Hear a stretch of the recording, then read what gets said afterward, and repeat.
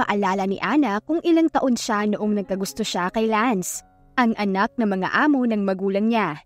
Ang pamilyang malapit sa kanila dahil ito ang mga tumulong sa kanila tuwing naghihirap sila. Matagal na may lihim na pagtingin si Ana kay Lance at wala siyang balak na ipaalam iyon. Habang buhay niya balak ilihim ang bagay na iyon. Hindi niya nga alam kung kailan nagsimula iyon dahil hindi niya naman gaano kakilala si Lance. Maliban sa mukha, pangalan, at pamilya nito ay wala na siyang ibang alam tungkol sa binata. Pakasalan mo ang anak ng mga Devilla. Seryosong sabi ng ina sa kanya. Napatulala naman agad si Ana sa narinig.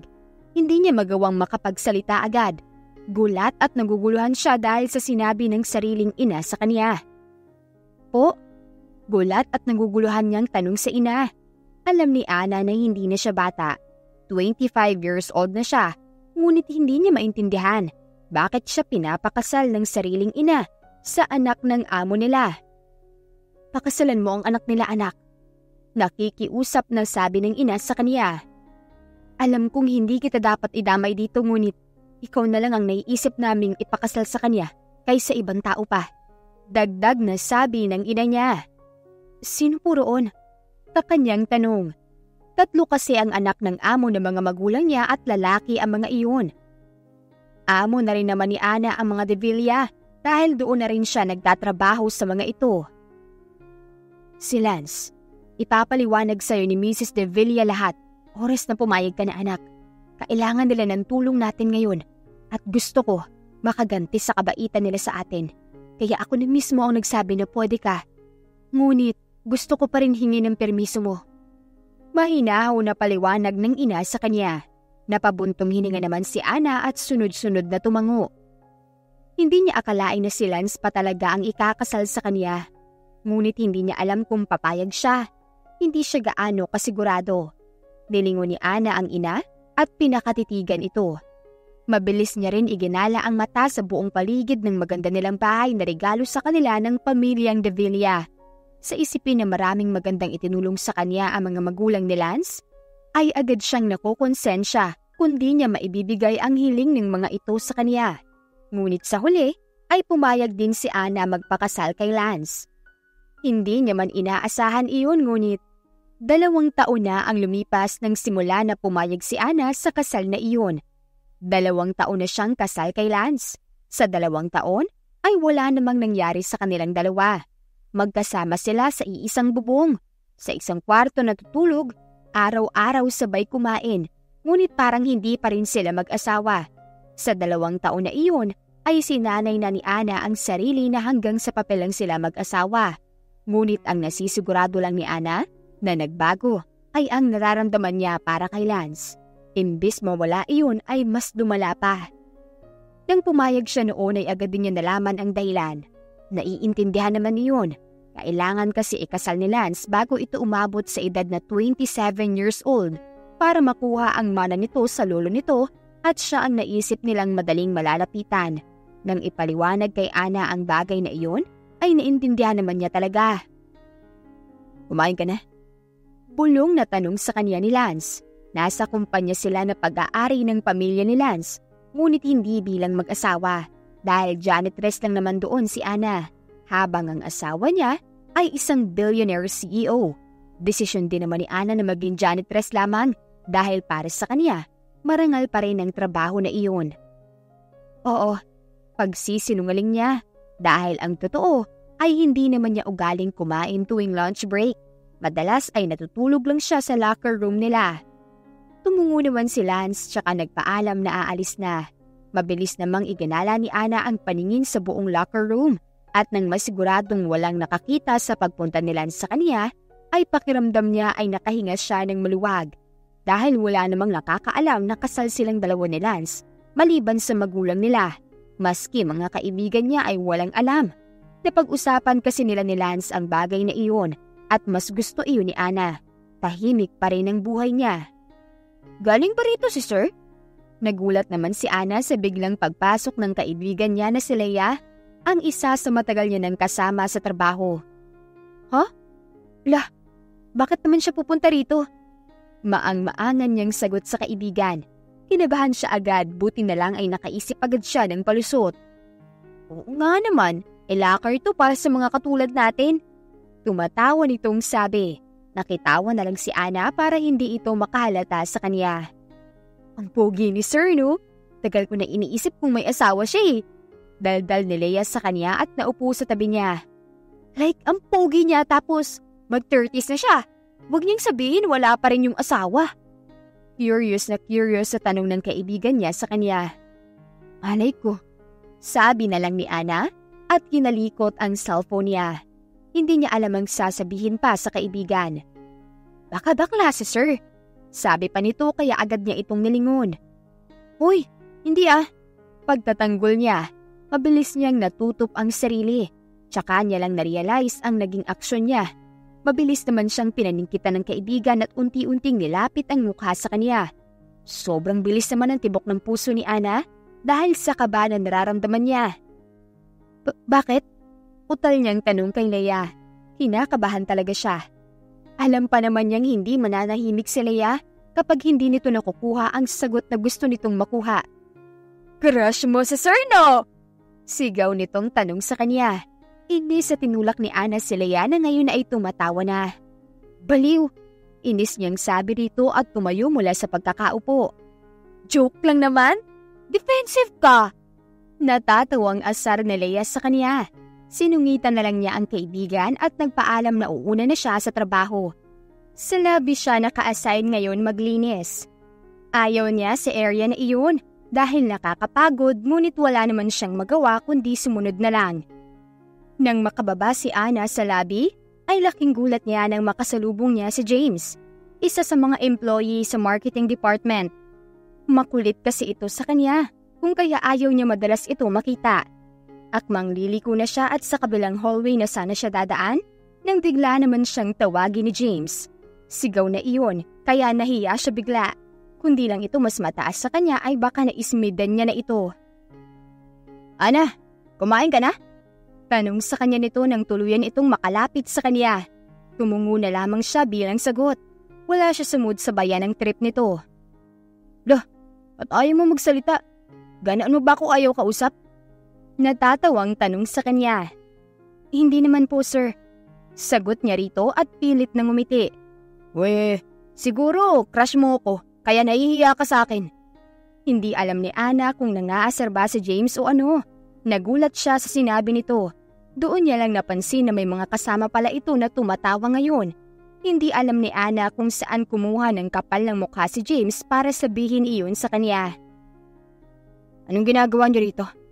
Sabay-sabay silang napalingon sa likuran nila James. Ganoon na lang ang gulat nila nang makita nila si Lance na nakatayo roon habang nakapamulsa at seryoso ang mukha. Hindi alam ni Ana kung bakit, pero kinabahan siya bigla, lalo na nang makita niya ang tingin ng asawa. Good afternoon, sir. Sabay-sabay nilang bati kay Lance, ngunit nanatiling seryoso ang mukha nito. Sunod-sunod na paglunok ang ginawa ni Ana. Pakiramdam niya ay may mali siyang nagawa. Anong ginagawa niyo rito? Hindi ba may kanya-kanya kayong trabaho? Almost 15 minutes na tapos ang lunch break niyo. Seryosong seryoso na sabi ni Lance sa kanila. Hindi tuloy alam ni Ana kung galit ba ito o ano. Kabang-kaba na talaga siya. Sorry sir, paghingi ng tawad nila James. Mabilis umalis ang mga ito at tumakbong sumakay ng elevator. Mas kinabahan tuloy si Ana na siya na lamang ang naiwan mag-isa sa harap ni Lance. Madalas naman sila magsama at magkita ngunit ngayon niya lang nakita na ganito kaseryoso ang mukha ng asawa. You, follow me. Utos ito sa kanya. Tumungo na lamang si Ana at itinabi sa gilid ang daladala niyang cart na may mga cleaning materials at tahimik na sumunod kay Lance. Hanggang sa makarating sila sa opisina ay kabang-kaba siya. Nang makarating sila sa opisina ni Lance, ay agad siyang nagpaliwanag. Maglilinis na naman sana ako kaso tinawag nila ako kaya huminto ako pero hindi ako nakikipagchismisan sa kanila no. Tinawag lang talaga nila ako. Aligagang paliwanag ni Ana. Para na siyang nag-rap habang sinasabi iyon. Sobrang bilis ng tibok ng puso niya. Natatakot talaga siya sa aura ng asawa niya ngayon. Huwag ka sanang magalit please. Hindi ko talaga ginusto magtagal doon. Hindi na natapos ni Ana ang mga sasabihin dahil agad siyang pinutol ni Lance. Stop. Utol sa kanya ni Lance. Di ako galit. Mahinahon itong sabi sa kanya. Marahan namang tumungo si Ana. Nataranta kasi talaga siya. Para tuloy siyang nagrarap imbis na nagpapaliwanag. Bakit ka ba natataranta? Wala akong naintindihan sa mga sinabi mo. Sa sobrang bilis. Natatuwang sabi ni Lance sa kanya. Bahagya namang nagulat si Ana sa naging reaksyon ng asawa. Ngayon niya lang yata ito nakitang tumawa. Ha? Eh di bakit mo ako pinapunta rito? Takanyang tanong. Akala niya kasi ay kaya siya pinasunod nilan sa opisina nito dahil pagagalitan siya. Nagsinungaling ka sa akin. Bigla nitong seryosong sagot sa kanya. Agad namang nagsalubong ang mga kilay ni Ana sa pagtataka. Ha? Saan? Takanyang tanong. Wala siyang maalalang may ginawa siyang ganoon. Sabi mo kumain ka, pero hindi naman. Ilang araw o linggo mo na akong pinagsisinungalingan sa bagay na iyon, Mrs. De Villa. Seryoso nitong tanong, umari ko pa ang kilay nito sa kanya. Sunod-sunod na paglunok ang ginawa ni Ana at nag-iwas ng tingin. Pakiramdam niya ay nagtaasan ng balahibo niya nang tawagin siya nito sa apelyido niya ngayon. Hmm? Answer me. Utos sa kanya ni Lance. Unti-unti niya muling sinalubong ang mga tingin nito, tsaka marahan ng umiti. Hindi niya alam kung paano siya magpapaliwanag. Ano? Two months na ata. Pag-amin niya, kitang-kita naman niya kung paano gumapang sa mukha ni Lance ang gulat. Umawang pa ang labi nito at napailing na lang dahil sa naging sagot niya. Wala namang nagawa si Ana kundi ang yumuko at palihim na napanguso. Pakiramdam niya, ngayon siya malalagot sa asawa niya. Isusumbong kita kay mama. Seryosong sabi na lang sa kanya at kinuha ang cellphone nito. Nanlaki naman ang mata ni Ana at agad na taranta. Dali-dali siyang lumapit sa asawa at hinablot ang cellphone ni Lance. Wag! Sigaw niya. Ayaw niyang mag-alala pa sa kanyang ina. Matanda na rin kasi ang kanyang ina kung kaya't hindi na niya ito inaabala masyado. Busy na rin ito sa pag-aalaga sa pamangkin niya. Inis niyang inirapan ng asawa. Huwag mo ako isumbong, para kang bata. Maktol niya rito. Wow, ikaw pa magagalit. Ikaw itong pasaway. Hindi ba parang ikaw ang bata sa ating dalawa? Ganti naman sa kanya ni Lance, hindi niya alam kung seryoso ba ito o nangaasar. Eh mag-aalala lang yun sa akin. Paliwanag niya. Tumungo naman si Lance sa kanya. Exactly. Kaya nga isusubong kita para hindi ka pasaway. Dahilan pa ni Lance sa kanya. Tumayo ito at lumapit sa kanya. Mabilis nitong nakuha ang cellphone sa mga kamay niya. Napasimangot siya dahil doon. Sorry na, wag mo lang ako isumbong. Pakiusap niya at tumitig ng diretso sa asawa. Gago, ba't ang cute? Sabi ni Lance, hindi naman gaanong narinig ni Ana. Ha? Takang tanong naman ni Ana. Wala. Umiling na sagot ni Lance. Fine. Hindi kita isusumbong but kailangan mo sumama lagi kumain sa akin. Simula ngayon. Dagdag nitong sabi. Napamaang naman si Ana at hindi agad nakapag-react. Hindi siya makapaniwala sa narinig sa asawa. Nagtataka na tuloy siya. Dumadaldal kasi bigla ang asawa niya. Hindi siya sanay dahil tahimik ito madalas at siya palagi ang naimik sa kanilang dalawa. Bakit? Ta kanyang tanong. Naninibago siya sa kinikilos at sinasabi ng asawa niya. Why not? Tsaka para ma-make sure ko na nakain ka. Sagot ni Lance sa kanya at mas nilapitan siya. Napaatras naman bigla si Ana sa gulat. Baka magtaka sila or makita tayong magkasama. Nag-aalala niyang tanong. Ayaw pa naman niyang ma-issue bigla Nakayanan niya nga ang dalawang taon na hindi sila alam ng ibang tao bilang mag-asawa. Ngayon pa kaya? Tsaka mas komportable si Ana sa sitwasyon niya ngayon. So what? Seryosong tanong sa kanya ni Lance. Napailing naman si Ana. Gusto niya tuloy tuktukan si Lance ngayon. Para kasi itong hindi nag-iisip ng maayos. Hindi ka ba nag-iisip? Medyo inis niyang tanong sa asawa. Hindi naman siya sinagot ni Lance. Bagkus tumayo lang ito ng tuwid at pinag-cruise ang mga braso sa dibdib. Napabuntong hininga siya. Walang may alam na mag-asawa tayo. Ni wala ngang nakakita na nakikisama ka sa mga employee mo tapos Gusto mo sabay tayo tuwing lunch? Inis niyang paliwanag. I don't care. Hayaan mo sila sa iisipin nila. Besides, mag-asawa naman talaga tayo. Sagot ni Lance sa kanya. Hindi makapaniwala niyang tinignan si Lance. Nasampal niya ang sariling noo. Nababaliw siya ng hindi oras sa pinagsasabi ng asawa. Parang gusto na lang niya ang tahimik na Lance lagi. Oo na lang. Nauubos niyang pasensya na sabi. Ayaw niya na makipagtalo pa kay Lance. Pakiramdam niya kasi ay mas iinit pa ang ulo niya kapag ginawa niya iyon. Balik na ako sa trabaho. Paalam niya. Tinanguan naman siya ni Lance na malaki ang ngiti sa labi. Iniwas na lang niya ang tingin dito at nagmadali ng lumabas ng opisina ni Lance. Weird. Sabi niya agad sa sarili nang makalabas siya. Isang buwan ang lumipas at isang buwan na rin nagtataka si Ana sa mga ikinikilos ni Lance. Lalo na pagdating sa kanya. Nalilito na siya at talagang nanghihinala. Ano na naman? Tanong niya sa asawa. Kakauwi lang nilang dalawa pero kinukulit na naman siya nito. Hindi naman sa ayaw ni Ana ang mga actions ng asawa niya. Sadyang naninibago lang siya. Hindi siya gaanong sanay. Dinner nga tayo sa labas. Yaya na naman ito sa kanya. Kanina pa siya nito niyayaya sa trabaho pa lamang. Pero hindi niya gaanong pinapansin ito. Gulong-gulo na kasi siya sa ikinikilos ng asawa niya. Na para bang tuwing kikiligin na siya, kailangan niyang pigilan dahil siya lang naman ang may gusto sa kanilang dalawa. Pagod na kasi ako eh. Dahilan niya na lang. Kahit ang totoo, ay ang dami niya pang energy ngayon. Fine. Dito na lang sa house. What do you want to eat? Nagulat naman si Anna sa sinabi nito. Akala niya kasi ay nakalusot na siya. Kahit ano na lang. Sagot niya. Tingin niya ay kahit tanggihan niya muli ito ay wala na siyang magagawa. You like paksiw na bangus no? Hindi alam ni Ana kung tanong ba iyon Mabilis na pakunot ang noo niya dahil sa pagtataka.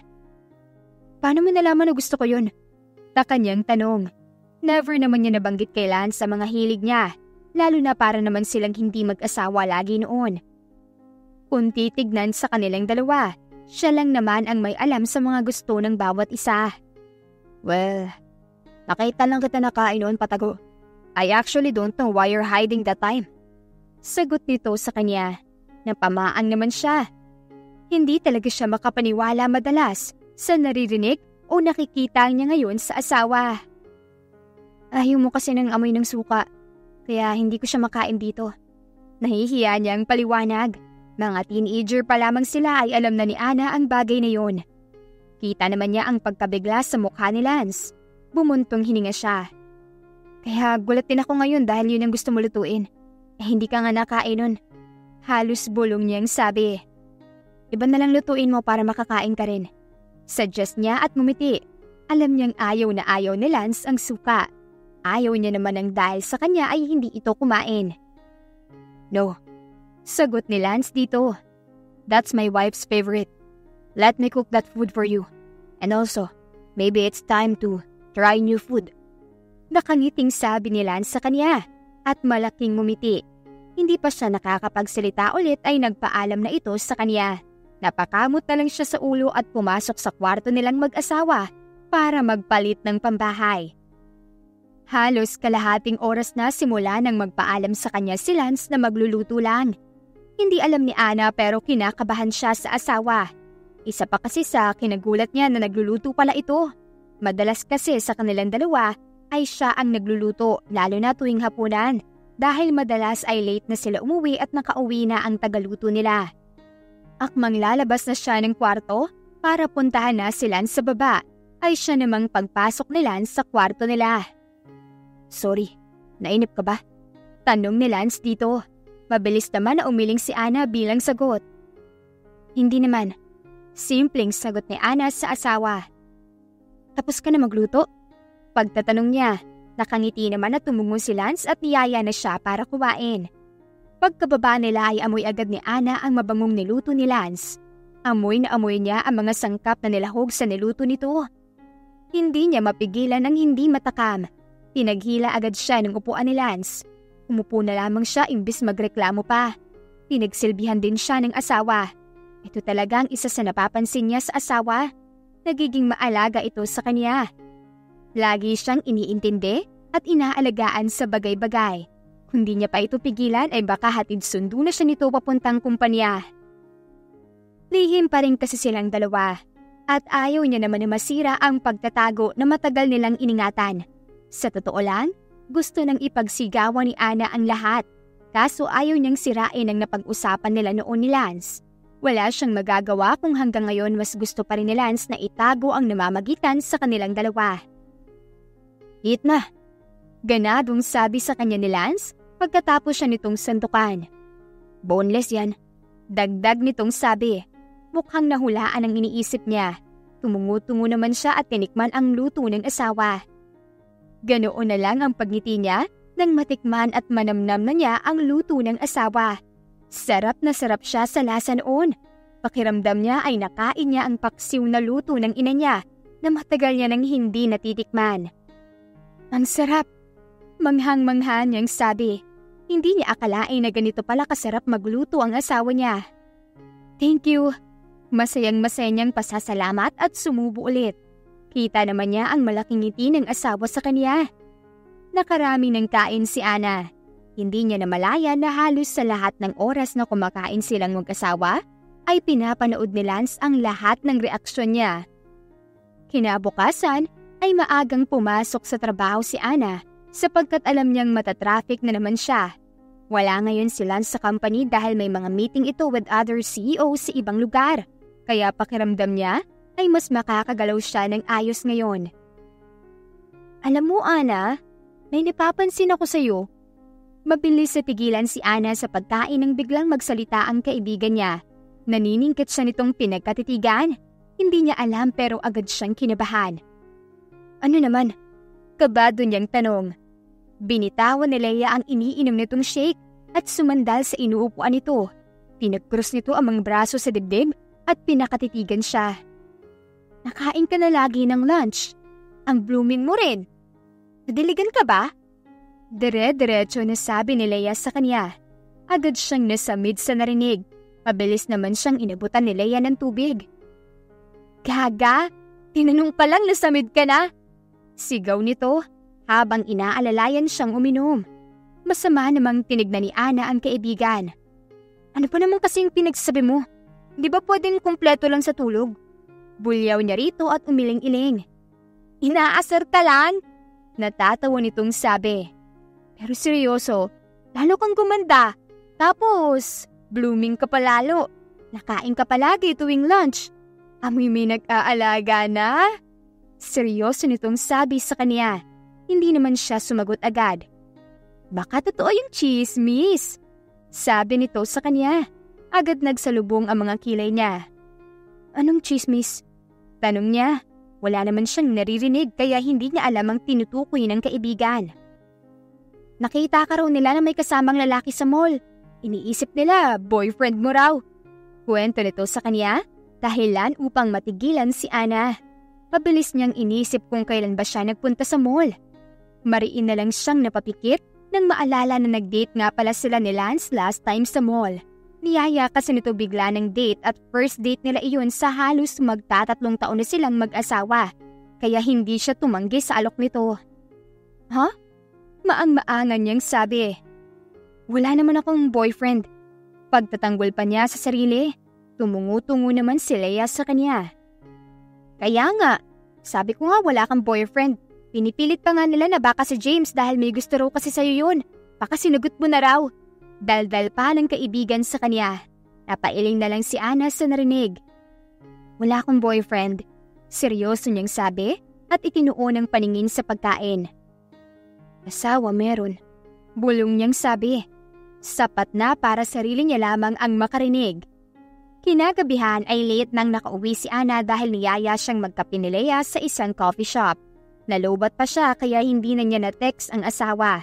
Nang makauwi siya, ay ganoon na lang ang gulat niya nang sumalubong sa kanya ang nakasimangot na mukha ng asawa sa sala. Hi! Ngiting-ngiti niyang bati sa asawa.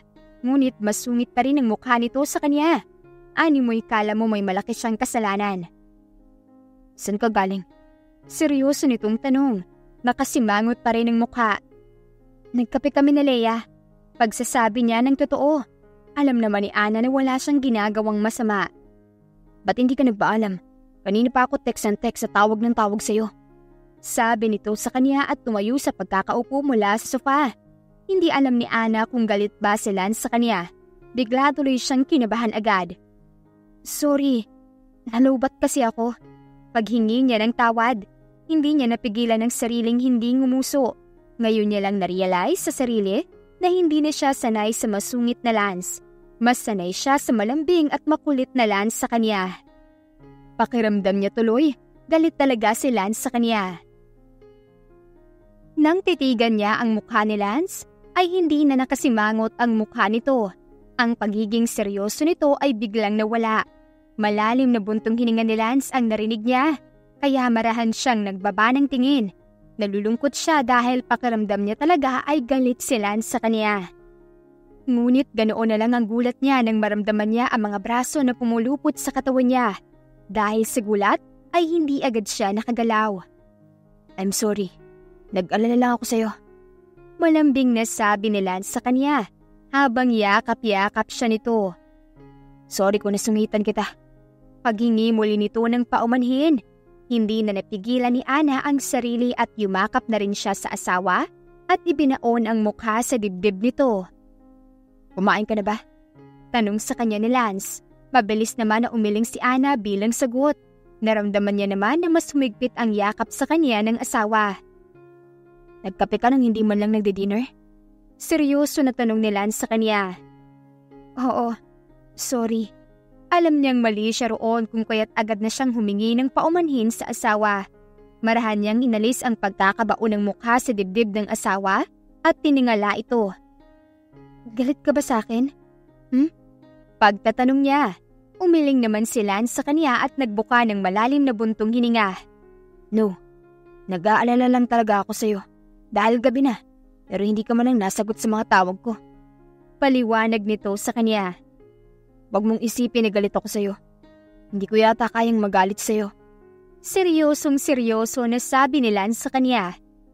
Nagbaba ito ng tingin sa kanya Nagluto ko. Kain na tayo. Yaya nito sa kanya. Tumungo naman si Ana at sumama na sa asawa papuntang kusina. Ilang buwan ang lumipas at mas naging komportable at close silang mag-asawa sa isa't isa. Pagdating lang sa sa opisina ay limitado ang galaw nila. Ngunit sa tuwing silang dalawa na lang ang magkasama, ay lagi silang nagkukulitan at naglalambingan. Maraming napansin na pagbabago talaga si Ana sa asawa. Sobrang mapag-alaga at intindihin nito sa kanya. Kahit minsan na mali talaga niya ay iniintindi pa rin siya nito. Dahilan upang maramdaman ni Ana sa asawa na mas lumalim pa. Hulog na hulog na talaga siya kay Lance. Wala naman siyang balak pigilan ng sariling mas mahalin ng asawa. Ngunit may takot sa puso niyang masaktan Lalo na alam niyang one-sided lang naman ang nangyayari sa kanilang dalawa. Tapos ka na ba? Tanong ni Lance sa kanya mula sa labas ng bathroom. Nagbibihis na kasi siya dahil may family dinner sila ngayon sa bahay ng mga De Villa. At bilang isang ganap na De Villa na rin siya ay lagi siyang kasama sa ganoong dinner ng pamilya. Ayaw naman talaga ni Ana sumama sapagkat hindi naman siya nakaka-relate sa mga ito. Sadyang wala lang siyang choice kundi ang sumama na lamang. Wait lang! Sigaw niya at pinagtatitigan ng sarili sa salamin. May isa pa talagang rason si Ana kung bakit ayaw niyang sumama. Dahil sa dalawang beses nakasama siya ni Lance sa ganoon, ay palagi na lang siyang naiinggit sa mga asawa ng pinsan ni Lance. Hindi niya naman mapigilan ang sarili sa bagay na yun. Dahil para sa kanya, ay sobrang layo niya sa mga ito. Kung baga, langit ang mga ito habang lupa siya. Nang makitang maayos na ang itsura ay agad siyang huminga ng malalim bago nagpasya na lumabas na sa bathroom. Pagkabukas ng pinto ay agad na sumulubong sa kanyang asawang nakapamewang na nag-aantay sa kanya. Hindi mapigilan ni Ana ang sariling hindi humanga sa gwapong taglay na mayroon ng asawa. Simpleng polo shirt lang naman ang suot nito at khaki pants. Ngunit ang gwapo at ang lakas na ng dating nito. Idagdag pa ang suot nitong gold na relo at pati na rin ang wedding ring nilang makinang pa rin hanggang ngayon. You look so beautiful, Ana. Uri ni Lance sa kanya at malaking ngumiti. Tinakatitigan nito ang kabuuhan niya. Hindi naman napigilan ni Ana ang sariling hindi tignan ng sarili. Nakasuot lamang siya ng beige maxi dress. Regalo ito sa kanya ng ina ni Lance nang ikasal silang dalawa. At ngayon pa lamang niya na isuot ito. Nakamesi ba naman ang buhok niya? Kung kaya't hindi niya mapigilang magtaka kung bakit nagagandahan sa kanya ang asawa. Pagkarating sa mansyon ng mga de Villa ay sobra-sobrang taba na agad ang naramdaman niya nang makita ang mga mamahaling sasakyan na nakapara sa malaking garahe na pag-aari ng mga de Villa. Good evening, Ana! Agad na bati sa kanya ng ina ni Lance nang salubungin sila nito sa pinto.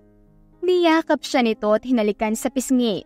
Palaki naman nang umiti si Ana sa ina ng asawa. Good evening po, Mami. Nakangiti niyang bati rito. Mom, ako ang anak mo pero siya agad ang binati mo. Hindi alam ni Ana kung seryoso ba ang asawa o nagbibiro lamang. Agad namang natawa si Mrs. De Villa sa anak. Baliw, sawa na ako sa'yo. Simula baby pa lang ikaw nang nakikita ko. Pangaasar ng ina ni Lance sa anak. Agad namang natawa si Ana sa narinig. Oh, nandito na pala ang paboritong apo. Pare-parehas silang napalingon sa likuran ng ina ni Lance nang may biglang magsalita doon. Malalim na buntong hininga na lang ang nagawa ni Ana nang makita niya kung sino iyon. Good evening, tita. Bati ni Lance sa tita Grace niya. Hindi alam ni Ana, ngunit hindi maganda ang kutob niya ngayong gabi, lalo na ang tita Grace ni Lance agad ang sumalubong sa kanila. Hindi naman sa ayaw niya sa tita ni Lance, ngunit ilang beses na kasi siya nitong pinahiya noon. At lagi na lang nauuwi sa away ng pamilya kapag tinitira na siya nito. Basta alam niya ay inggit ito sa pamilya ng asawa. Evening sa'yo, iho. Matari nitong bati at basta na lang silang inalisan. Kita naman agad ni Ana ang pag-irap ng ina ni Lance. Napaka-epal talaga. Kundi lang siya kapatid ng daddy niyo na sampal ko na. Gigil na gigil na sabi ng ina ni sa kanila. Naramdaman naman ni Ana na hinawakan ng asawa ang kamay niya. Kaya agad niya itong nilingon. Malaking ngiti ang sumalubong sa kanya nang magkasalubong ang mga tingin nila. Emir, huwag mo na silang isipin. Kalmadong sabi ni Lance sa kanya. Nagulat naman si Ana sa sinabi nito, ngunit tumungo na lamang siya bilang pagsang-ayon at ngumiti. Hindi niya akalain na alam agad ni Lance ang iniisip niya. Magaan ang pakiramdam ni Ana nang matapos ang dinner nila. Wala masyadong nangyari na masama maliban sa ini-interview siya ng ibang parte ng pamilyang De Villa. Epal talaga si tita. Sabi sa kanya ni Sanya, isa sa mga pinsang babae ni Lance. Ito kasi ang tinira ngayon ng tita Grace ni Lance kaya pikon na pikon ito. Hindi niya naman buhay, pinakakailaman pa. Gigil nitong dagdag pa. Laking pasalamat na lang talaga ni Ana na silang dalawa lang ang nakakarinig noon. Sa mga ibang kamag-anak ni Lance ay si Sunny agad ang nakaklose niya. Maliban sa makulit ito at madaldal, ay nasasabihan niya ito ng problema lalo na tungkol sa nararamdaman niya kay Lance. Nga pala, gusto kayo ng pinsan kong ugok? Tanong nito sa kanya. Bahagya naman siyang natawa. Gumalaw na ba? Ginalaw na ba ang baso? Curious na curious nitong tanong sa kanya. Hindi ko rin alam. Sagot niya, dahil maski siya, naguguluhan na talaga. Pero mas naging okay at malapit kami sa isa't isa ngayon. Nagiging malambing at maalagain sa akin si Lance. Pagkukwento niya. Sa totoo lang, naguguluhan na ako sa kanya. Like, dati naman hindi siya ganoon. Tapos, biglang nagbagong pakikitungo niya sa akin. Dagdag niya pang kwento at mapait na ngumiti kay Sanya. Hindi ko alam. Aasa na ba ako o ano? Umiiling niyang sabi. Wala namang sinabi si Sanya at nakinig na lang sa iba niyang kwento. Isang linggo ang lumipas at balik na naman siya sa gawaing mag-asawa. Lalo na si Lance na sobrang busy sa trabaho sa dami nitong meeting na iniintindi. Hindi rin sila nagkasabay mag-lunch ng ilang araw dahil may mga lunch meeting ito with other investors. Kaya si Lea na lang ang kasama niya laging kumain. Ngunit iba ngayon dahil kasama nila si James at Carl sa upuan ngayon. Bakit ba ayaw mo kong payagang manligaw? Tanong ni James sa kanya habang nakain sila. Palihim naman siyang umirap. Dati pa lang ay binasted na talaga niya ito. Hindi niya alam bakit ayaw pa rin siya nitong tigilan. Ang pwede niya lang talagang sabihin na kasal na siya ay talagang ginawa na niya. Ayoko nga. Simple niyang sagot at nagpatuloy sa pagkain. Luto pa naman ni Lance ang kinakain niya ngayon kaya kailangan niya talagang ubusin. Kahit nawawala na siya ng gana dahil kay James na kinukulit siya. Oo nga, tsaka gwapo naman si Sir James. Single ka naman, Ana. Gatong pa ng kaibigan niya kay James. Sabay appear sa binata. Balakas naman na tumawa si Carl. Naiinis na talaga siya ngunit pinipigilan pa rin niya. Hala, ayoko. Wala akong oras sa ganon. Tanggi pa rin niya at binilisan na kumain. Ngunit hindi pa niya nauubos ang kinakain ay mabilis siyang natigilan nang bigla siyang akbayan ni James. Pakipot ka lang siguro. Bulong nito sa kanya sabay tawa. Mabilis nag-angat ng tingin si Ana. Ganoon na lang ang gulat niya na imbis si James ang harapin niya, ay mukha agad ng asawa niya ang nakita niya. Sa lubong ang mga kilay nito na nakatingin sa kanila. Basang-basa ni Ana ang pagkayamot sa mukha nito. Pabilis niyang inalis ang pagkakaakbay sa kanya ni James. Nang makitang tumalikod bigla si James, ay dali-dali siyang tumayo at iniwan ng mga kasama. Wala na siyang pakialam sa gamit na naiwan niya. Mas may pakialam siya ngayon sa iisipin ng asawa niya sa kanya. Nang makalabas siya ng cafeteria ay hindi niya na makita si Lance. Kung kaya't yamot na yamot siyang sumakay ng elevator at agad na nagpunta sa floor ng opisina ni Lance. Kabang-kaba siya dahil pakiramdam niya Galit agad si Lance sa kanya dahil sa nakita nito. Buisit na James yun.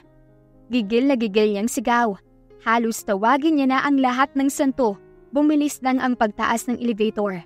Nang makarating iyon sa floor ni Lance, ay dali-dali siyang lumabas. Miss, bawal ka rito. Sita sa kanya ng sekretarya ni Lance nang makarating siya sa harap ng opisina nito. Nandiyan ba si Lance? Aligaga niyang tanong. Wala na siyang pakialam sa gustong isipin ng sekretarya. Kitang-kita niya naman ang pagtataka sa mukha nito. Lance? Wala mo lang, sir? Taka nitong tanong sa kanya. Ala basta, nasa loob ba siya? Tanong niyang muli. Agad namang tumungo ang sekretarya. Akmang iimik na sana ito nang bigla niyang buksan ang opisina ni Lance. Seryosong seryoso ang mukha nitong napatingin sa kanya. Itinigil nito ang ginagawang paghuhubad ng coat habang nakatitig sa kanya. Miss, bawal nga sabi! Sigaw ng sekretarya ni Lance at hinihila siya palabas. Teka! Awat niya rito. Kailangan niya talagang makausap si Lance dito. Pakiramdam niya kailangan niyang mag-explain sa asawa kahit wala naman talaga siyang kasalanan. Miss! Hindi natuloy nito ang sasabihin ng magsalita si Lance. Let go. Utos nito sa sekretarya. Agad namang binitawan ng sekretarya si Ana. Mabilis hinaplos ni Ana ang braso. Pakiramdam niya ay naipit ng sobra. Kaya mo siya. Huwag kang mapapasok ng mga susunod. Utos niya pa sa sekretarya. Tumungo naman ito at sinara ang pintuan. Nang silang dalawa na lang ang natira ay muling bumalik ang kabang nararamdaman ni Ana. Agad namang itinuloy ni Lance ang paghubad nito ng coat. Basta na lang ito ibinato iyon sa sofa na nasa gilid. Siya ka na upo sa upuan na nasa table. Kabadong kabado naman si Ana na lumakad palapit kay Lance. Alam niyang galit ito. Hindi man lang siya nalingon nito habang palapit siya. Pabilis ng pabilis ang tibok ng puso niya na akala mo nakikipag-unahan. Kahit hindi sanay at pinanghihinaan siya ng loob, ay pumunta na siya sa tabi ng asawa at kinulbit ito, ngunit hindi man lang siya nilingon. Lance, malambing niyang tawag dito Ngunit nilingon lang siya nito at binalik ang atensyon sa mga papel na pinipirmahan. Halos magdasal na siya sa lahat ng santo. Pansinin lang siya ng asawa. Hirap na hirap siya dahil hindi naman siya nanunuyo. Humugot na ng lakas ng loob si Ana. Tsaka nagpunta sa likuran ng asawa at niyakap ito sa leeg. Ramdam naman niya ang pagkagulat ng asawa dahil sa ginawa niya. Maski siya ay nagulat sa ginawa niya ngunit desperado na siyang pansinin lang siya ng asawa. Galit ka ba? Sorry, hindi ko alam na aakbayan niya ako. Paglalambing niya sa asawa, idinikit niya pa ang pisngi niya sa pisngi nito. Bigla niya lang akong inakbayan. Hindi nga rin namin dapat kasabay yun. Sumama lang. Pagpapaliwanag niya, narinig niya naman ang pagbuga ng marahan na hininga ng asawa Napanguso siya at hinilig ang ulo sa balikat nito at tinignan ang mukha ng asawa mula roon. Di ako galit. Sabi nito sa kanya at nilingon siya dahilan upang mapaatras siya bigla. Sobrang lapit kasi ng mukha nila sa isa't isa. Nabigla siya dahil kaunting maling galaw na lang ay maglalapat na ang labi nilang dalawa. Sa totoo lang, hindi niya maalala kung kailan siya huling nahalikan ni Lance. Basta ang naaalala niya ay noong kasal lang nila. Eh ba't ganyan ang mukha mo? Tanong ni Ana sa asawa. Itinigil naman ni Lance ang ginagawa at hinarap sa asawa ang inuupuan. Napairit naman si Ana sa gulat nang bigla siyang hilahin ni Lance at pinaupo sa mga hita nito. Mabilis na yumapos ang mga braso nito sa bewang niya. Hindi niya tuloy magawang tumitig sa asawa ngayon. Kung kanina ay sobrang bilis ng tibok ng puso niya dahil sa kaba, ngayon ay dahil nasa kilig na nararamdaman niya. Nagsiselos ako kanina. Selos na selos. Seryosong seryoso na pag-amin sa kanya ni Lance at pinakatitigan ang mukha niya. Hiyang-hiya naman na nilabanan ni Ana ang mga tingin nito. Nanlalambot siya nang magtama ang mga mata nila. Ako mong asawa mo, pero siya yung nakalapit sa'yo ng ganoon. Like, what the hell? You were married.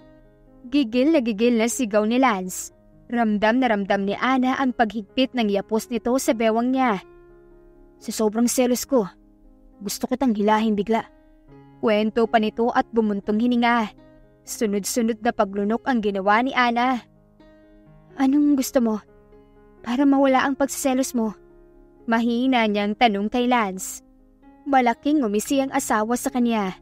Mula sa bewang niya ay gumapang ang isang kamay nito papunta sa gilid ng dibdib niya. Paangat sa liig niya hanggang sa makarating sa pisngi. Agad itong hinaplos-haplos ni Lance na siyang nagbigay ng kiliti sa kanya. Parang ang daming paru-paro ang gumagalaw sa loob ng tiyan niya ngayon. Malaking ngumiti si Lance, tsaka nito inilapit ang mukha sa kanya at agad na sinakop ang mga labi niya. Nagulat naman si Ana doon at hindi alam ang gagawin. Ngunit nang gumalaw ang labi ni Lance sa ibabaw ng labi niya at marahan nitong kinagat ang pang-ibabang labi niya, dahilan upang bumuka iyon. Marahang ipinikit ni Ana ang mga mata at tumugon sa mga halik na ibinibigay ng asawa sa kanya. Marahan at maingat ang paggalaw ng mga labi ni Lance na siya namang tinutugunan niya. Nang maging agresibo ang mga halik ni Lance sa kanya, ay agad siyang napahawak sa braso ng asawa ng mahigpit na mahigpit. Iginilid pa ng asawa ang mukha niya upang mas mahalikan siya nito ng maayos.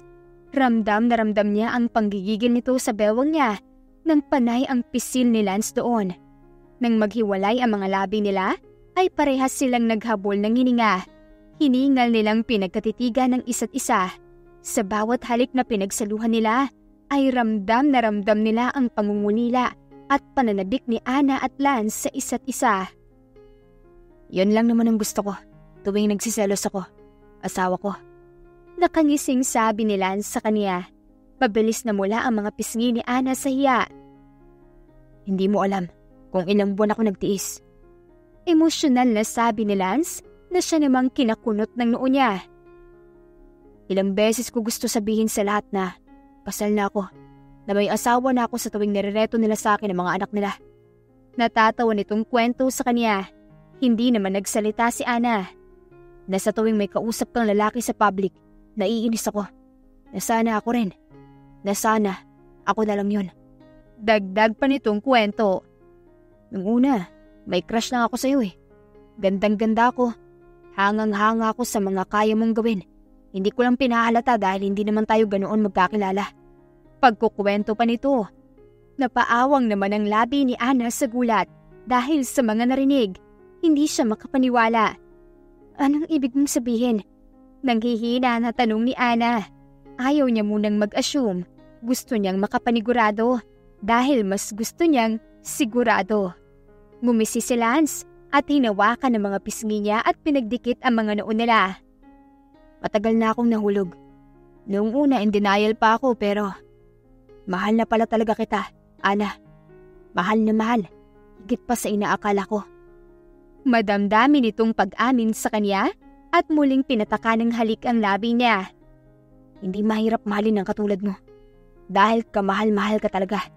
Dagdag pa nitong sabi. Mabilis naging emosyonal si Ana. Agad siyang pinanggilida ng mga luha sa kanyang mata. Hindi niya maisip na posible na mahalin din siya ni Lance. Lalo na sa tinagal-tagal ng panahon, ay lihim lang naman niya itong iniibig. Ni hindi pumasok sa isip niyang mamahalin din siya nito pabalik. Mabilis na yumakap si Ana sa asawa at isinubsob ang sarili sa leeg nito. Hindi niya na pinigilan ng sariling hindi maiyak. Agad naman siyang ginantihan ng mahigpit na yakap ni Lance habang hinahaplos-haplos nito ang likuran niya. Mahal na mahal din kita, Lance. Pag-amin ni Ana, hindi talaga siya makapaniwala. Hinding-hindi niya maisip na ang lihim niyang pag-ibig noon ay pwede niya palang sabihin din. Matagal na. Sobrang tagal na. Higit pa sa iniisip mo. Dagdag niyang sabi at humagulgol. Kundi pa ako magselos. Wala nga amin. Natatawang sabi ni Lance sa kanya. Inis naman niyang hinampas ang likuran ng asawa. Thanks to him, napaamin din. Dagdag pa nitong sabi at niyakap siya ng ayos na kala mo ay bata. Ever since na naging open silang dalawa sa feelings ng isa't isa, ay mas naging malambing pa sila sa isa't isa. Ngayon ay day off niya pero si Lance ay may pasok ngunit late na ito pero ayaw pa rin tumayo. Para itong batang nakayakap sa kanya habang nakabaon ang mukha nito sa leeg niya. Mahal, may pasok ka pa. Ulit niya sa asawa na ayaw siyang bitawan. Ngunit umiling lang ito sa kanya at ayaw pa rin tumayo. Napairap naman si Ana habang natatawa na rin. Mahal, isa. Pagbabanta niya rito, ngunit parang hindi man lang ito natatakot sa kanya. Napanguso siya at nag-iisip ng pwedeng gawin para lang mapasunod ang asawa. Ngunit nang may naisip na siya, ay napaisip naman siya kung magandang solusyon ba iyon. Ngunit nang makita muli ang oras ay hindi na siya nagdalawang isip pa. Mahal, kapag hindi ka tumayo, hindi ka makakascore sa akin ng isang buwan. Pagbabanta niya rito, mabilis na humiwalay si Lance sa kanya at humalik sa pisngi niya. Tumayo agad ito at kinuha ang mga damit at pumasok sa bathroom nila. Napailing naman si Ana sa asawa at nahampas ang sariling noo. Lakas talaga ng tama ng lalaking yon. Iling-iling niyang sabi sa kanyang sarili. Kinabukasan ay ngiting-ngiti si Ana habang nasa locker room siya. Maliban sa masaya siya sa mga ganap sa kanilang mag-asawa, ay napuri pa siya ng head nila dahil maganda raw ang performance niya. Te, alam mo ang lala mo na talaga. May sakit ka ba? Seryosong tanong ni Leia sa kanya. Ngayon niya lang napansin na nasa tabi pala niya ang kaibigan. La, bakit naman? Tanong niya rito at isinara ang locker niya at naupo sa sofa na naroon. Ilang buwan ka na yata tawa ng tawa mag-isa. Nangiti palagi sa cellphone. Tapos, blooming na blooming te. Sigaw na sabi sa kanya ni Leia. Ngiting-ngiti naman niya itong tinignan. Ganoon talaga kapag in love. May sakit agad. Di ba pwedeng nagmamahal lang? Proud na proud niyang sabi sa kaibigan. Kitang-kita niya naman ang pag-awang ng labi ni Leia sa gulat. Kahit sino magugulat kapag nalaman na in love na siya. Wala namang kasing nakakaalam sa katrabaho niya. Ang may alam sa love life niya talaga.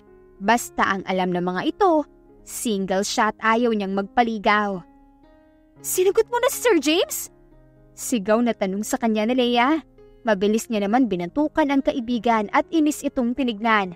Hindi niya nga maisip patulan ang lalaking yun. Sagutin pa kaya?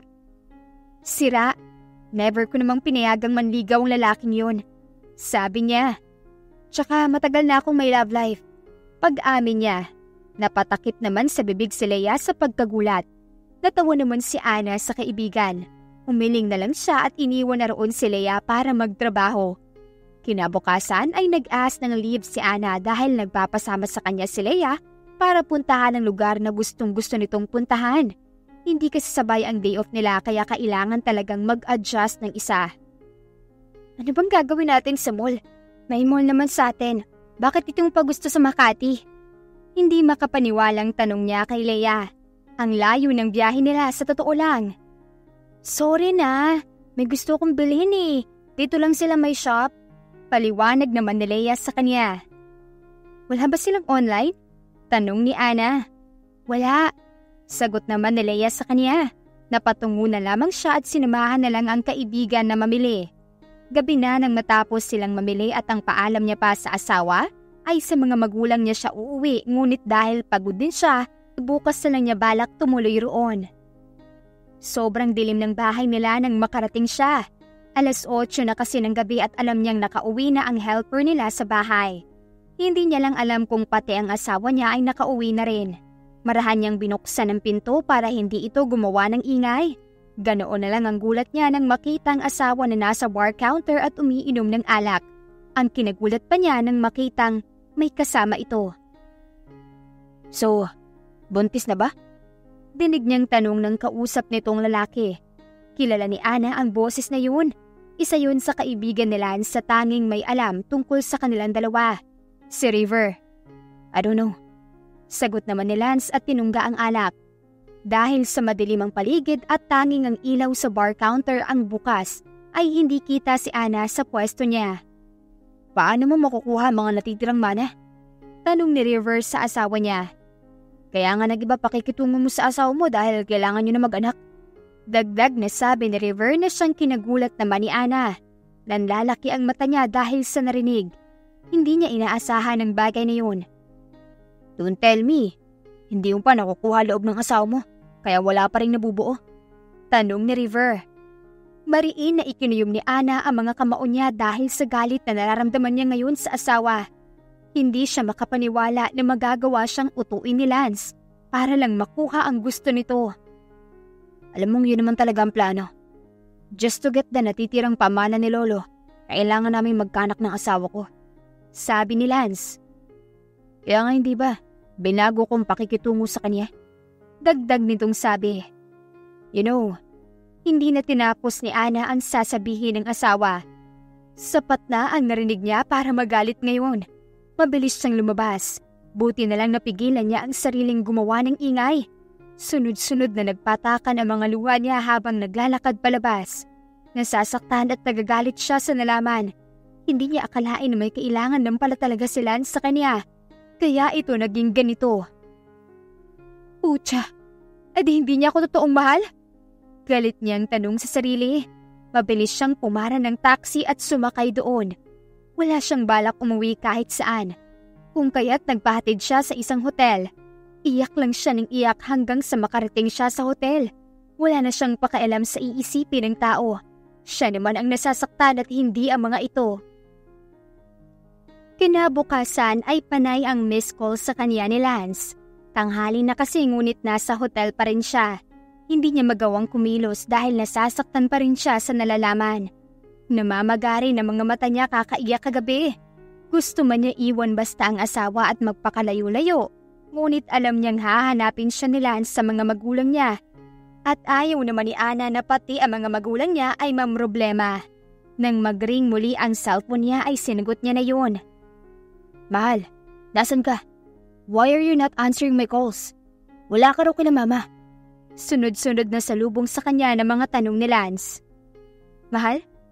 Inis siyang ngumisi pagkatapos sabihin yun. Hindi siya makapaniwalang may kapal pa ng mukha si Lance na tawagin siyang ganoon.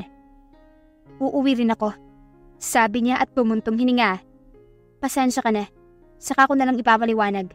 Sabi niya rito at pinatayan ng tawag si Lance. Kahit tinatamad at nangihina siya, ay pinilit niyang tumayo at umuwi sa kanila. Isang linggo na ang lumipas simula nang marinig niya ang bagay na iyon. Simula noon ay naging malingat siya sa asawa.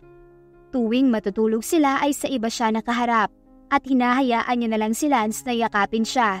Tuwing kakain sila ay nauuna na lang siya lagi. Panay ang iwas niya sa asawa. Bihira niya rin itong kausapin alam niyang nakakapansin na si Lance ngunit wala siyang pakialam dahil galit pa rin siya.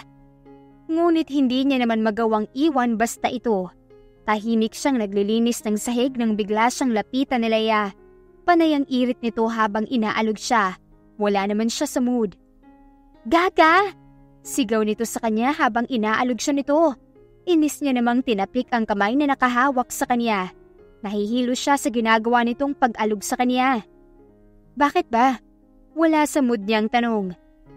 Asawa ka pala ng boss natin, hindi mo sinabi sa akin. Nirereto pa naman kita lagi kay James, kaloka ka? Gigil na gigil na sigaw ni Leia sa kanya. Gulat na gulat naman siya sa narinig. Nanlaki ang mata niyang hinarap ang kaibigan na natataranta at tuloy-tuloy ang pagsasalita. Saan mo nalaman yan? Galit niyang sigaw. Hindi niya alam sa totoo lang kung ano ang mararamdaman niya. Ngunit mas namumuo ang inis at galit dahil sa nangyari sa kanila ni Lance ay mas lalo siyang walang balak ipagsabi ang tungkol sa relasyon niya sa boss nila. Kaya hindi niya alam kung sinong nagpakalat noon. Teka, si Sir mismo. Hinahanap ka niya sa amin lahat. Nasaan daw ang asawa niya? Akala ko pa kung sino pero nung sabihin niyang pangalan mo, tatakbo na ako rito. Pagkukwento ni Lea sa kanya, inis na binitawa ni Ana ang hawak at tatakbo na pumunta sa elevator at sumakay doon. Pagkarating sa opisina ng asawa, galit na galit niya itong binuksan. Doon niya naman nakita ang client na kausap ng asawa. Ngunit wala siyang pakialam. Piko na piko na siya. Kundi siya sasabog ngayon, baka kung ano pang magawa niya. Labas! Galit niyang sigaw. Kita naman niya ang gulat sa mukha ng mga taong naroon, lalo na ng asawa niya. Ngunit wala na talaga siyang pakialam. Mahal, hindi na tuloy ni Lance ang sasabihin dahil pinutol niya ito. Labas sabi! Sigaw niyang muli. Mabilis na tumayo ang mga taong naroon hanggang silang mag-asawa na lang ang natira. Mabilis na ibinalibag ni Ana ng pagsara sa pinto at bumalik sa asawa. Galit na galit niya itong sinugod. Bakit mo pinagkalat na asawa mo ko? Galit niyang tanong dito. Nanlilisik ang mata niya itong tinignan. Naiiyak siya. Hindi niya lang alam kung dahil ba sa galit o sakit na nararamdaman niya. Mahal, ano ba talagang problema? Hindi ko pa ipagkakalat yun. Hindi ka lalapit sa akin. Kalmado ngunit ramdam ni Ana ang gigil doon. Akmang hahawakan siya ni Lance, ngunit mabilis siyang umatras. Gago ka? Tuluyan na siyang sumabog. Gigil na gigil at galit na galit niyang tinignan ng asawa na naguguluhan. Anong problema? Ikaw! Sira ulo kang gago ka? Galit na galit niyang sigaw. Sobrang sikip ng dibdib niya ngayon. Ilang araw niyang inipon ang galit na yun. Mabilis na nagsipatakan ang mga luha niya. Agad namang nataranta si Lance dahil sa pag-iyak niya. Akala mo hindi ko narinig? Gago ka, manggagamit ka! Sana sinabi mo na lang na kailangan mo ng anak para hindi mo na lang ako inuto na kaya mo rin akong mahalin. Punong-puno ng hinanakit niyang sigaw sa asawa. Nanghihina na siya. Nanginginig na rin ang mga kamay niya sa galit. Kitang-kita niya naman kung paano natauhan ng asawa niya. Mukhang nakuha na nito kung ano ang tinutukoy ng galit na nararamdaman niya. Kung anak pala talaga ang gusto mo, sana sinabi mo na lang. Umiiyak niyang sabi. Nahihirapan na rin siyang huminga. Hindi yung uutuin mo pa ako para nang makuha ang gusto mo, Lance. Kasi kahit hindi mo ko utuin na mahalin, oras na humingi ka ng anak, ibibigay ko. Hirap na hirap niyang sabi. Tuluyan ang nanghina si Ana.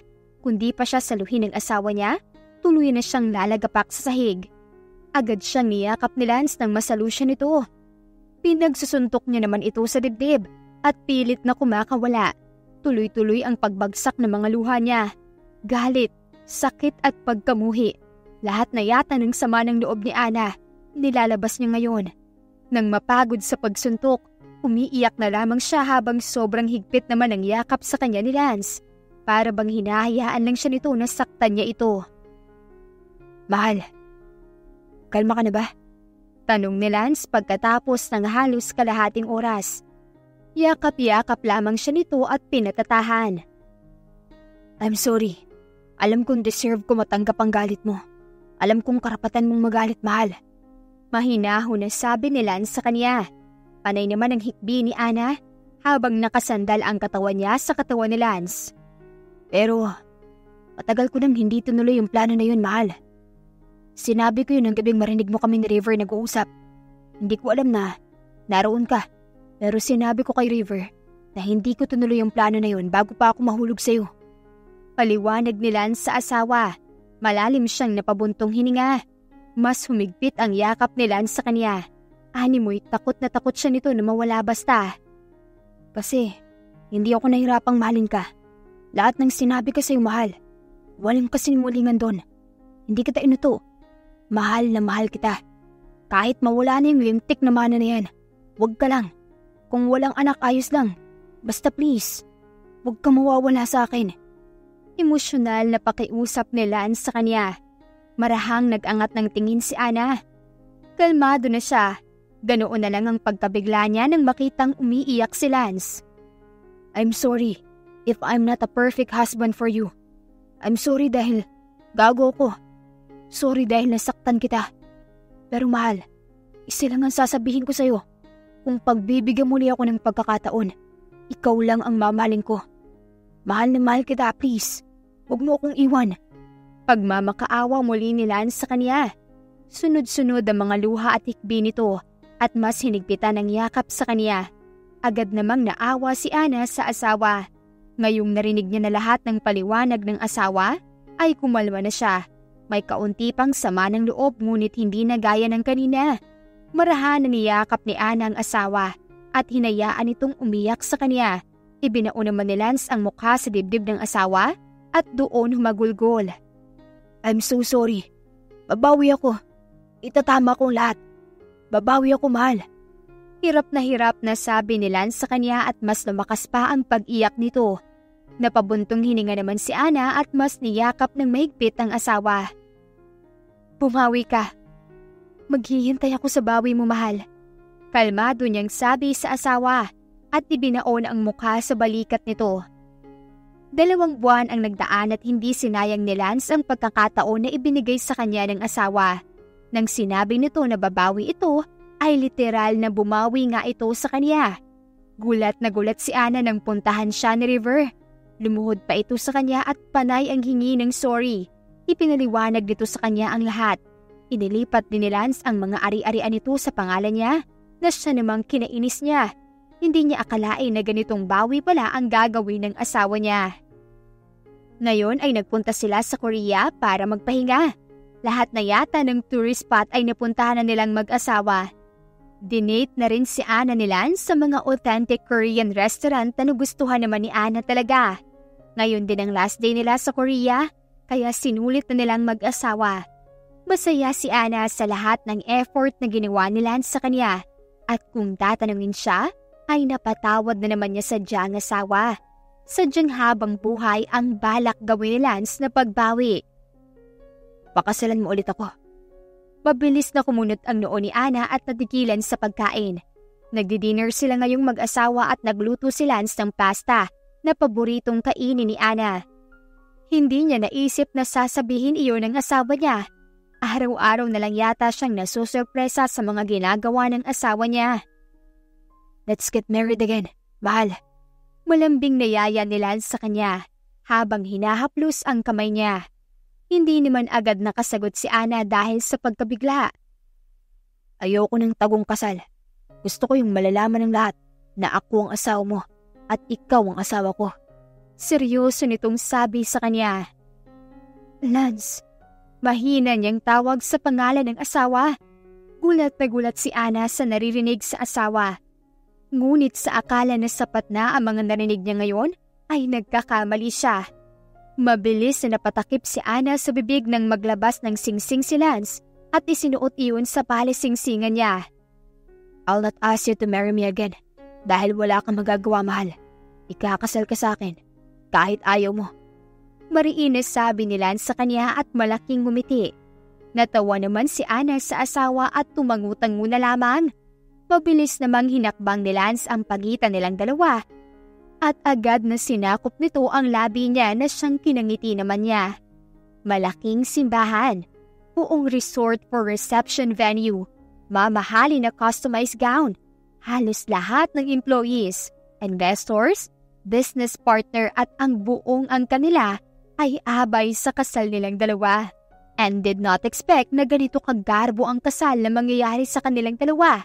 She never imagined that her dream wedding will be guaranteed. Dahil para sa kanya noon ay kahit anong kasal, basta'y kasal siya sa taong mahal niya. Ngunit ngayon ay naglalakad na siya sa malaking hallway ng simbahan, suot ang customized gown na pinagawa sa Johnny Lance sa kanya at ang lalaking mahal na mahal niyang hinihintay siya sa dulo ng altar. She doesn't want to believe na ikakasal na muli siya sa lalaking mahal na mahal niya. Ang lalaking pinapangarap lang niya noon. Ang ganda mo talaga. Sabi agad ni Lance sa kanya pagkatapos siyang kunin ito sa mga magulang niya. Ang gwapo mo. Sobra. Puri din niya sa asawa. Inalalayan siya nitong papunta sa harap ng pari. Muli silang ngumiti sa isa't isa. Finally, natupad din ni Ana ang isa sa mga pangarap niya noon. Ang maikasal sa lalaking mahal niya sa harap ng maraming tao. Sa taong sigurado na rin sa kanya. Wow! 20 million ang ginastos niyo sa kasal? Gulat na gulat na sabi ni Leia sa kanya. Tumango naman si Ana bilang sagot. Maski siya ay hindi makapaniwala na gagastos ang asawa niya para sa kasal ng ganoon kalaki. Dalawang buwan na nang matapos ang kasal nilang dalawa at lately lang din nalaman ni Ana na ganoon pala kalaki ang nagastos ng asawa niya. Ngayon ay masaya silang dalawa, lalo na at buntis na siya sa una nilang anak. Wala muna siyang trabaho at sa bahay muna siya kaya si Leia na ang dumadalaw mismo sa kanya. Parehas silang natigilang magkaibigan nang pumasok ang asawa niya. Ngunit kumunot ang noo niya nang makitang akay-akay nito si River na lasing. Leia, ikaw na mag-alaga rito. Utos ni Lance sa kaibigan niya at basta ibinagsak si River kay Leia. Kita naman ni Ana kung paano nabigla ang kaibigan. Natawa na agad siya Agad namang lumapit sa kanya si Lance at hinalikan siya sa noo. Bakit si River lang ang lasing? Tanong ni Ana sa asawa. Nagpaalam naman kasi si Lance sa kanya na iinom ito at pinayagan niya ito kaya nagtataka siya ba't hindi man lang ito nalasing. Maski amoy ng alak ay hindi niya maamoy. Ayoko, baka mabahuan ka sa akin. Sabi ni Lance sa kanya at ngumiti. Sir, anong gagawin ko sa lalaki na to? Tanong naman ni Leia kaya parehas silang napaharap mag-asawa sa kaibigan. Juwain mo, pangaasar ni Ana sa kaibigan at tumayong sa pagkakaupo. Kitang-kita naman niya kung paano namula ang kaibigan niya. Alam kasi ni Ana na may crush si Leia sa kaibigan ni Lance. Akit na kami. Need na magpahinga ni Mrs. Buntis eh. Alam mo naman saan ang guest room. Sabi ni Lance kay Leia. Wala namang nagawa si Leia at natulala na lang. Tawang-tawa naman na umakyat ang mag-asawa. Nang makapagpalit si Lance, ay agad silang humigang mag-asawa. Agad isiniksik ni Ana ang sarili. I love you, mahal ko. Mahal na mahal ko kayo ni baby. Biglang sabi ni Lance sa kanya at hinalikan siya sa labi. Ngiting-ngiti niya naman itong ginantihan. Mahal din kita. Kayo nang magiging anak natin. Ganti na sabi ni Ana sa asawa at mas isiniksik ang sarili. Kulang na lang ay humiga siya sa katawan nito. Sa huli ay namuhay silang dalawa ng payapa. Wala nang sikretong kailangan pang itago at proud na minahal ang isa't isa kasama ang kanilang mga anak. Buwakas, maraming salamat po sa patuloy na pakikinig sa aming kwento. Hanggang sa muli.